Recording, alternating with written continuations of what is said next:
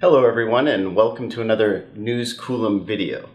I recently attended a Jaguar Electrifies event where we learned a little bit more about the Jaguar I-Pace and I even got to drive it out on the street just to see how it handled. In this video I'm going to go over what I thought about the event, what I thought Jaguar did well, what I think they could improve about the event, I'll go over some of the specifications and features of the Jaguar I-Pace. I'll talk a little bit about what I thought of its driving dynamic and how it handled. And then I'll go over what I liked and what I didn't like about the Jaguar I-Pace and just sort of a general overview. Stick around.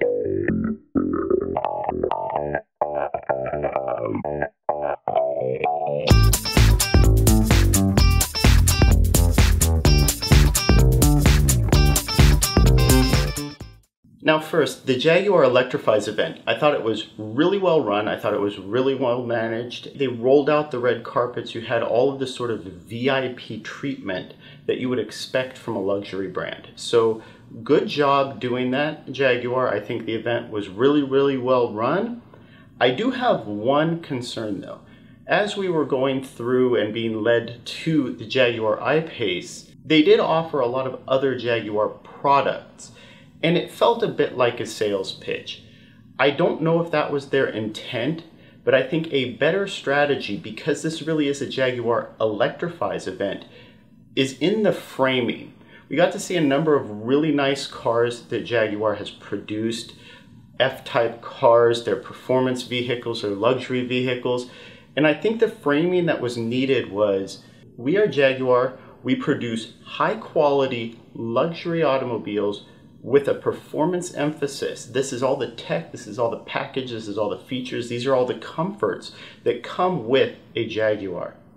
We took all of that knowledge and all of that experience and we packaged it into an all-electric platform. To me, that framing wasn't quite there or at least wasn't apparent enough and I sort of think that's how you need to approach talking about the I-Pace. I think it's important that you let people know that what you produced is possibly the first luxury all-electric vehicle.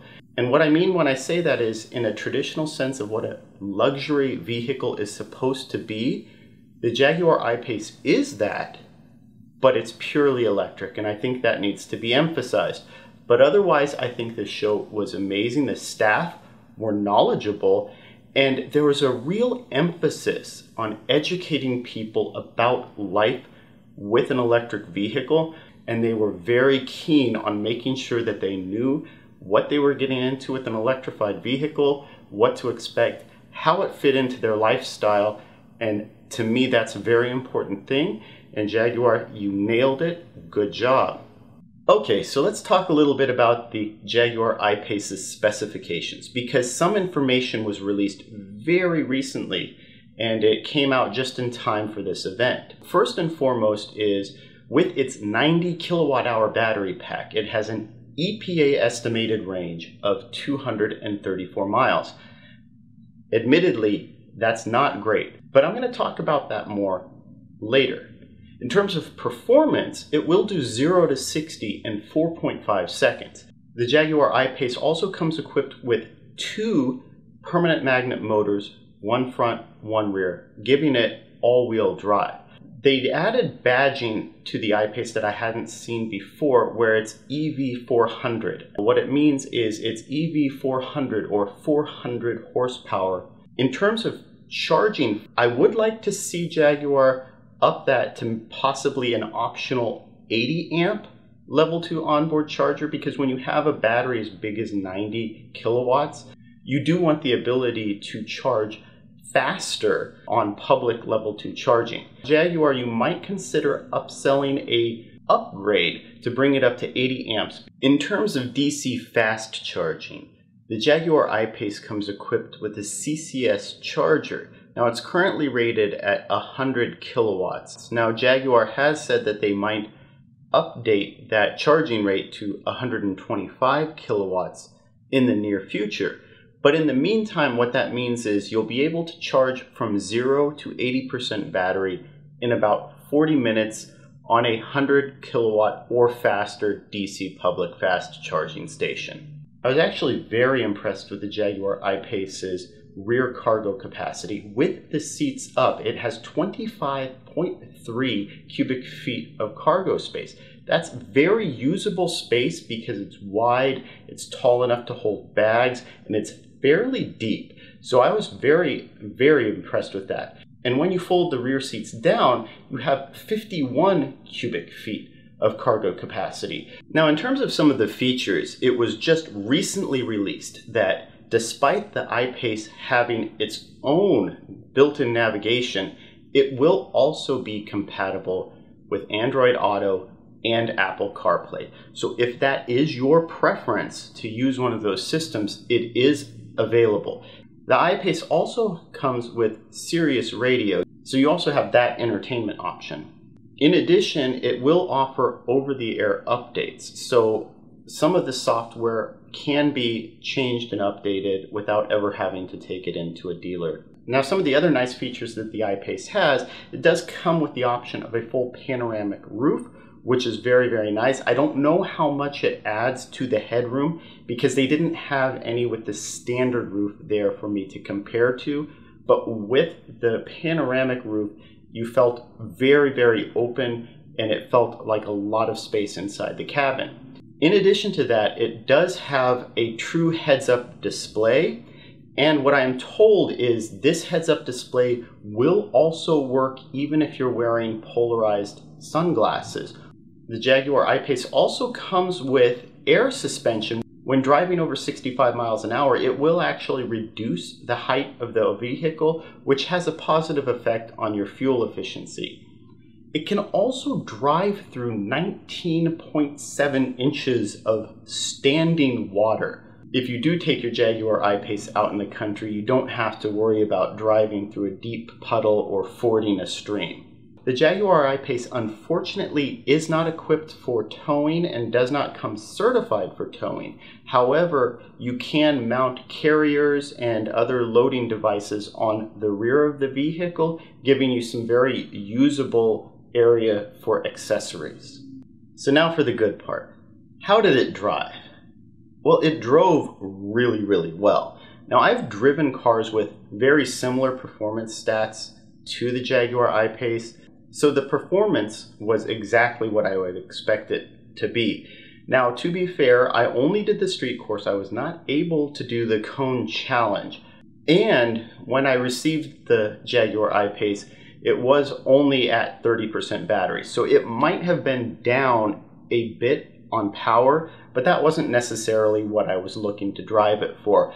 I mostly wanted to get a feel for how it rode on the roads, what the overall feeling was, it was just a short drive, so it was mostly just to get a first impression. Now, the driver that was assigned to me from Jaguar, he was very helpful, and the moment he learned that I was familiar with electric vehicles, he immediately set it up so that there was no noise coming from the artificial noise generator and the regeneration was at the maximum. So I did get a very good impression of how the Jaguar I-Pace would drive if it were set the way I would set it. What impressed me most about the I-Pace's driving was just how quiet and smooth it was. The course that we ended up driving was over a lot of road construction, a really rough, unfinished pavement, and I think that was by design. The car was very stable, very quiet, very smooth. You really wouldn't have known just how rough or unfinished that roadway was. Now I was able to accelerate just a little bit, mostly enough to, to get a feeling for how the car sort of handled into a corner and accelerated out of it. The thing that was surprising to me is it does feel like it's significantly rear wheel biased. From a driver's perspective, having a rear wheel bias is very nice coming out of a corner, kind of feeling that push as you come through. So I really like the way that it was tuned. I really like the way that the power comes on. So all of that is really good. The one thing that I think wasn't as good as some of the other vehicles I've driven is the low regen to a stop in terms of one pedal driving. Under about three miles an hour, you are probably going to have to use the actual brake pedal in most situations, but it's really not that big of a deal It's why I think Jaguar advertises it in the literature as situational one pedal driving, because in most situations it works, but you are still going to occasionally need to use your brake pedal. Overall, I think the Jaguar I-Pace felt really substantial, really well put together, very solid. Now I want to go over what I consider some of the weaknesses in the Jaguar I-Pace. And there were really three glaring weaknesses that I want to call out. I mentioned one of them already, and that's the efficiency. When you have a 90 kilowatt hour battery pack in a vehicle the size of the I-Pace, you're really hoping for more than about 234 miles of range. So I'm sure people will beat that range estimate in a lot of real world driving, but they also have to understand that the EPA estimate might not represent driving at freeway speeds where you could see substantially worse than that 234 miles of range. And that's really when that range matters the most. Next is the price. Now, if you look at an F pace, right, you're looking at a starting MSRP of $45,000.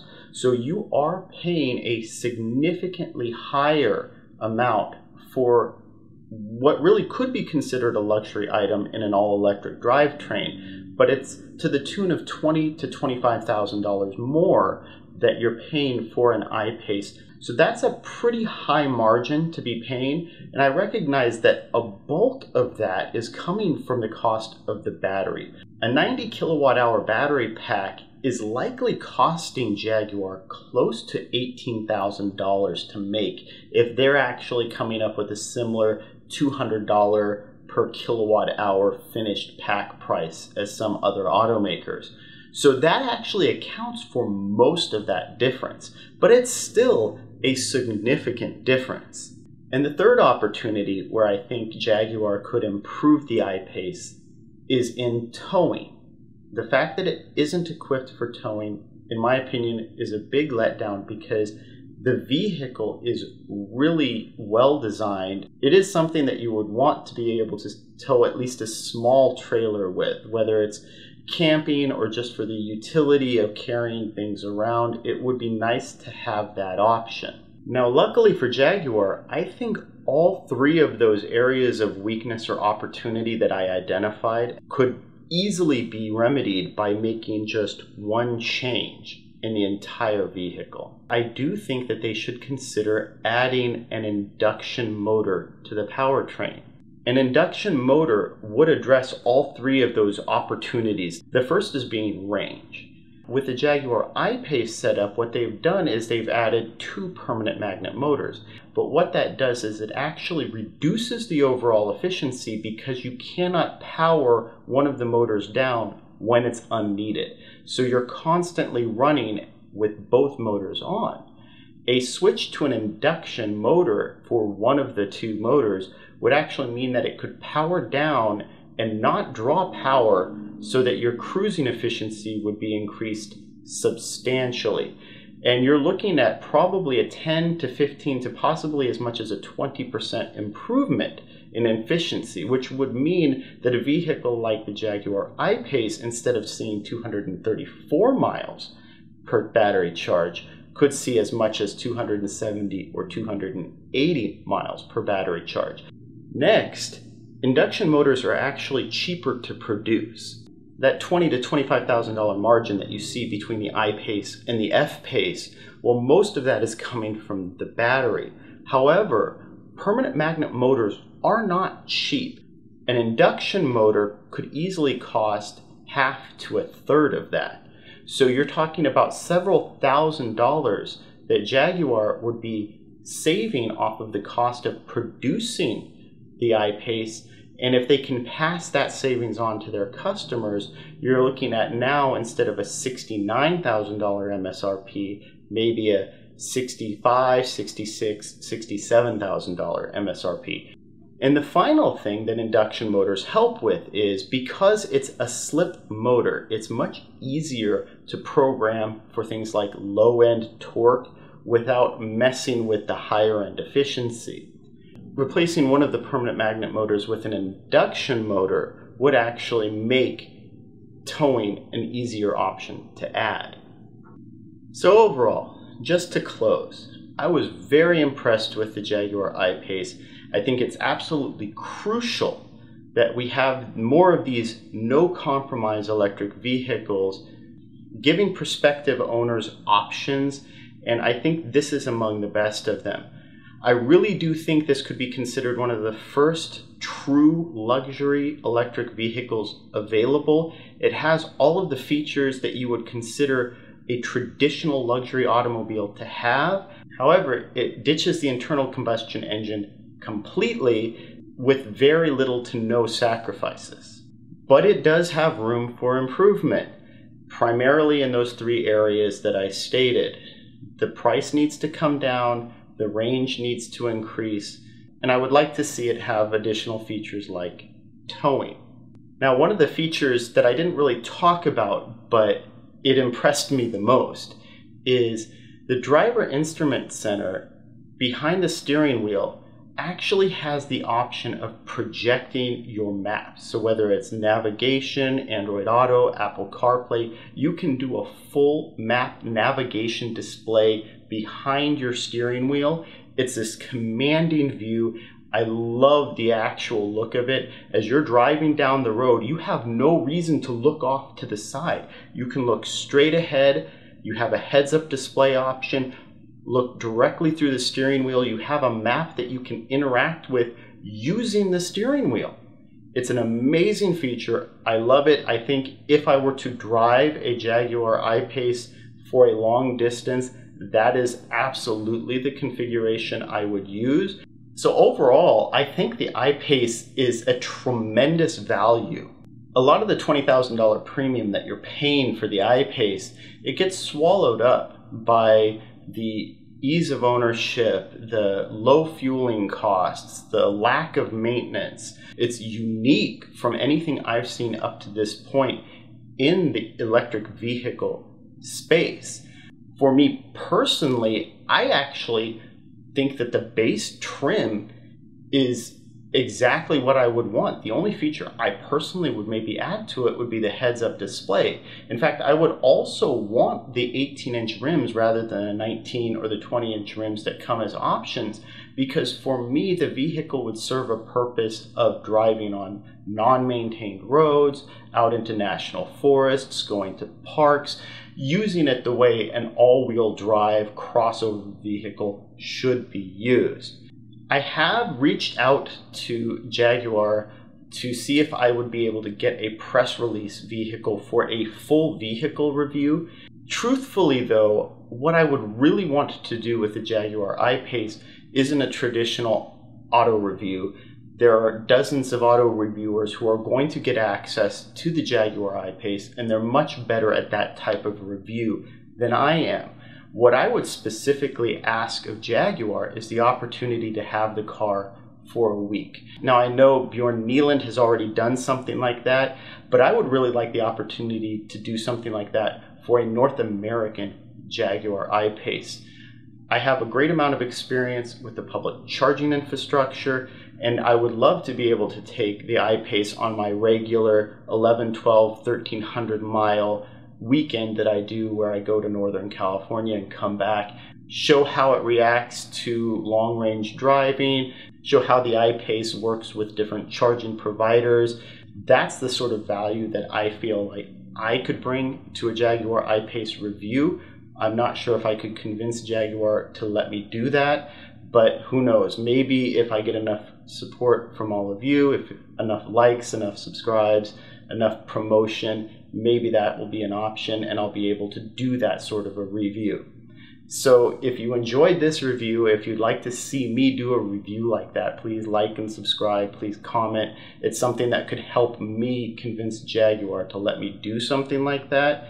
And hopefully I could present it to all of you in a way that informs you and better lets you make a decision whether the I-Pace would be a vehicle that you would be interested in and would fit your needs let me know in the comments what you think about this review, if there's information that you would have liked me to go over, if there's any questions that you have, and thank you for watching.